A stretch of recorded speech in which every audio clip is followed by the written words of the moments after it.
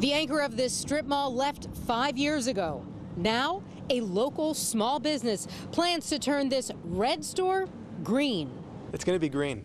we'll be growing a whole range of leafy greens, many of which many which are familiar to the consumer, but many of which the consumer has never tasted. And we're really excited to blow people's minds with varieties that they've really never had.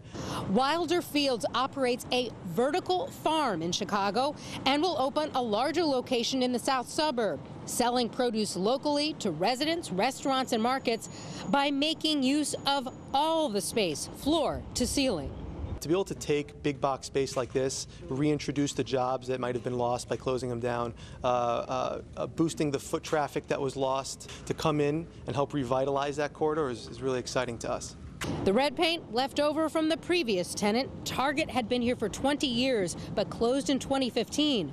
For those in the area, a small business growing produce and adding jobs is welcome news for the Southland.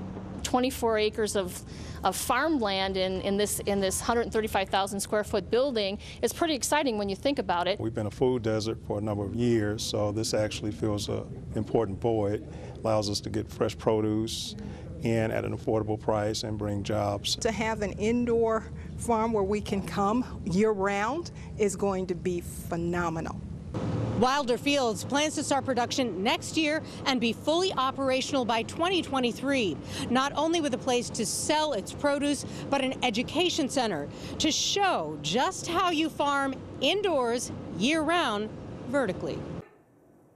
Hey, if you like that video, be sure to subscribe to our ABC7 Chicago YouTube channel.